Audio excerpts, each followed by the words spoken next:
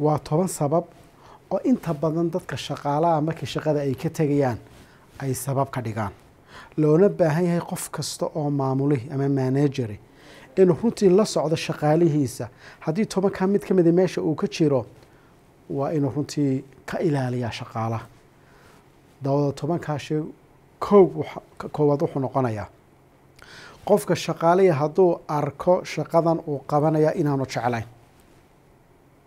haddii qofka shaqaalihi uu jeclaan waayo shaqadan uu ka shaqaynayo oo passion haddii la waayo xamaasad iyo jacayl uu u qabo shaqada haddii qofka shaqaalaha laga waayo oo jacaylkaasi ama xamaasadaasi meesha ay ka baxdo waxay u dhowdahay qofkaa shaqaalihii inuu meesha inuu ku fakiro inuu meesha ka bedesho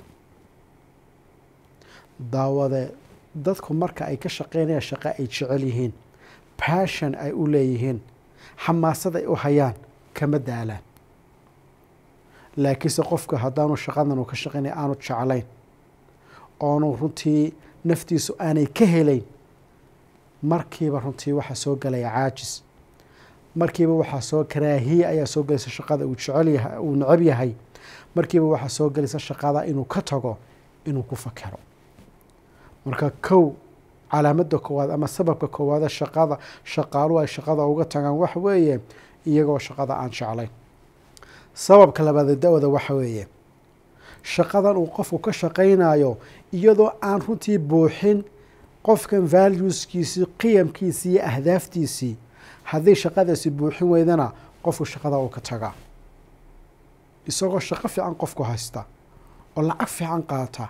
Haddana hadduu arko shaqadan qiyamkiisa inay ka soo horjeedo mabaadidiisa noloshan uu ka leeyay inay ka soo horjeedo ahdaaftii isla xaqiiji inaanay shaqadan aanay gaadhsiineyn hadduu qofku shaqalu taa ogaadana oo uu yaqiinsadana wuxuu ku fakiraa shaqadan siduu uga bedelan lahaa marka iyaduna waa sabab keentaa qofku runtii shaqada inaanu ku sii raagin.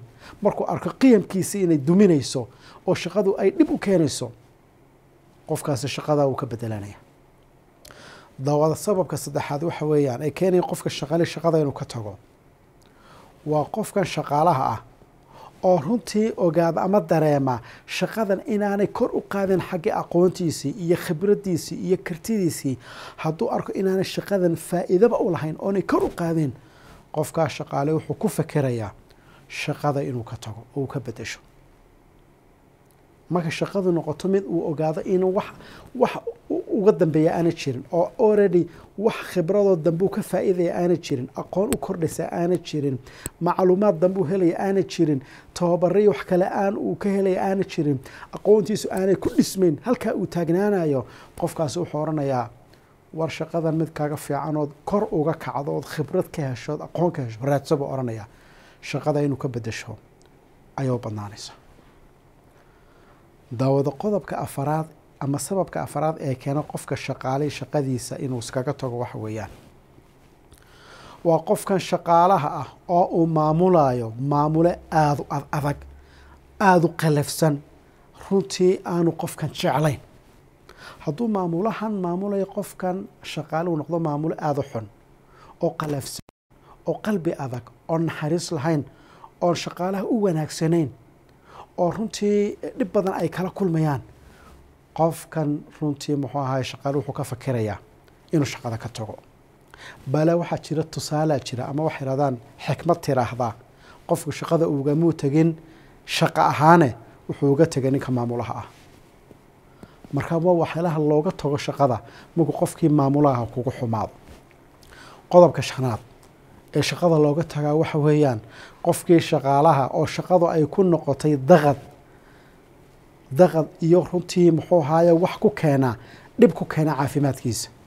Hadday shaqanu noqoto qofkii runtii shaqaalaha culays ku noqoto culays ku keenaya caafimaadkiisa inuu wax yeelo hadday taasi timaadana qofkii shaqaalaha shaqada wuxuu ku fakiraya inuu ka tago oo markuu arko hadduu shaqadan sii wado oo ku sii dhex jiro inay caafimaadkiisa ay dhib u keeni karto qofkii shaqaalay markaa wuxuu oranaya shaqadan iskaga tago.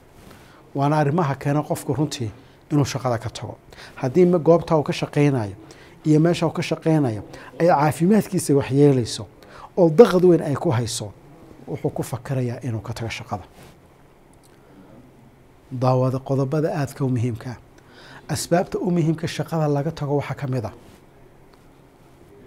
oo runtii waxyaalaha keena qofkii shaqadanu ka tago waxaa ka mid ah qofkii shaqaalaha ahaa oo runtii ogaada shaqadan inay runtii dhib u keenayso reerkiisii iyo asxaabtiisii inuu runtii waqti la qaato oo uu la sheekaysto oo la raaxaysto hadday shaqadu noqoto mid dhib u keenta oo ka hor istaagtaa qofkii markaa wuxuu ku fakarayaa shaqadan siduu uga tegi lahaa haddii qofkii isagii xaaskiisii la kala kaxeeyo oo meeshan uu ka shaqeynaya xaaskiisii ay xaaskiisi ay ka fog tahay oonu waqti u helayn uu la fadhiisto ciyaalkiisa oonu waqti u helayn reerkiisa la fadhiisto qofkaasi markaa wuxuu ku fakerayaa war shaqadan iskaga tago.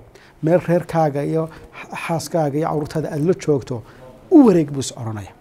Marka waa asbaabaha keena qofka oo runtii u waaya waqti uu la qaato reerkiisa iyo asxaabtiisa iyo qoyskiisa waa asbaabaha keena qofku shaqada uu ka bedesho asbaabaha keena qofku shaqada inuu ka bedesho daawada waxaa ka mid a qofkii shaqaalaha ahaa oo ogaada meeshan creativity inaan loogaba baahnaynba. Qofkii shaqalo ogaada meeshan inaanu fikirku soo jeediyo cidba qaadanayn fikirkiisu aanu soconayn waxba inaanu ku soo kordhin karin. Ibdaaciisa iyo waxyaalaha isaga ka dhex guxaya inaanu ka dhex xaqiijin karayn hadduu qofku shaqada uu ka dhex arko waa asbaabaha keena qofku shaqada inuu ka tago. Hadduu arko cidba inaanay tixgelinayn raygiisa fikirkiisa aan la qaadanayn fikirkiisa aanu shaqaynayn hadduu wax soo kordhiyo aan la tixgelinayn hadduu qofku taa dareemana waa waxyaalaha niyadjabka keena ee ku abuura qofka shaqaale inuu ku fakiro shaqada inuu iskaga tago daawo asbaabta kale inuu keena inuu qofku shaqada uu ka tago waxaa ka mid ah. Qofkii shaqaalaha ahaa oo dareemo promotionba inaanu jirinba. Qofkii aan la dalacsiinayninba oo weligii intaas muddo dheer buu meesha joogo wax dalacsiina muu helin. Uu soo socoto. Muddo dheer buu xafiis ka fadhiyaa. Wax weyn wax uga dambeeyo dalacsiini ma jiro promotion ma jiro qofkuna hadduu taa isna ay ku dhacdana waa waxalaakana qofku inuu isweydiiyo war shaqo kale ood promotion hesho oo tan ka sii fiican oo ka sareysa oo ka mansab sareysa raadso. Ayay arrintana ay tahay. Waxyaalaha ku abuur qofka inuu shaqada uu ka tago. Asbaabaha keena shaqada inuu ka tago waxaa ka mid a. Qofka oo runtii waxba aanay u kordhayn xaggii dhaqaalaha. Dhaqaaluhu maalintii koowaad uu bilaabay ee loogu bilaabay mushaharkii loogu bilaabo ilaa hadda qaadanaya mushaharkiisii ma kordhaayo dhaqaalihiisii ma kordhaayo waxba isma bedelayaan waa arrimaha keena qofku inuu ka fakiro shaqada inuu iskaga tago oo uu raadsado shaqo uga fiican xagga mushaharka iyo dhaqaalaha. Daawade asbaabaha keena qofku inuu shaqada uu ka tago waxaa ka mid a. Runtii allahuma salli calaa maxamed keensanaya qofku inuu ka wareego shaqadaas waxaa ka mid a.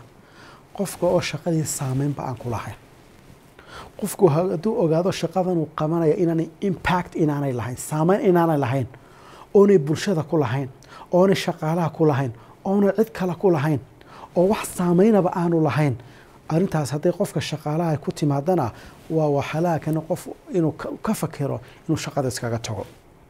Maalintuu qofku shaqaaluhu dareemayo shaqadiisa inay saameyn leedahay oo mujtamaca ay wax ku soo kordhinayso inuu wax ka bedelayo runtii arrimihii bulshada inuu bulshadiisii wax la qabanayo inuu dad horumarinayo inuu arday soo saarayo inuu shaqaalaha wax u qabanayo inuu dad ka farxinayo maalintuu ogaado shaqadiisu inay saameyn leedahay uu joogaya xataa mushaharku hadduu ku yaryahay uu joogaya laakiinse markuu ogaado shaqadan uu qabanaya inaanay wax saameynan lahaynba.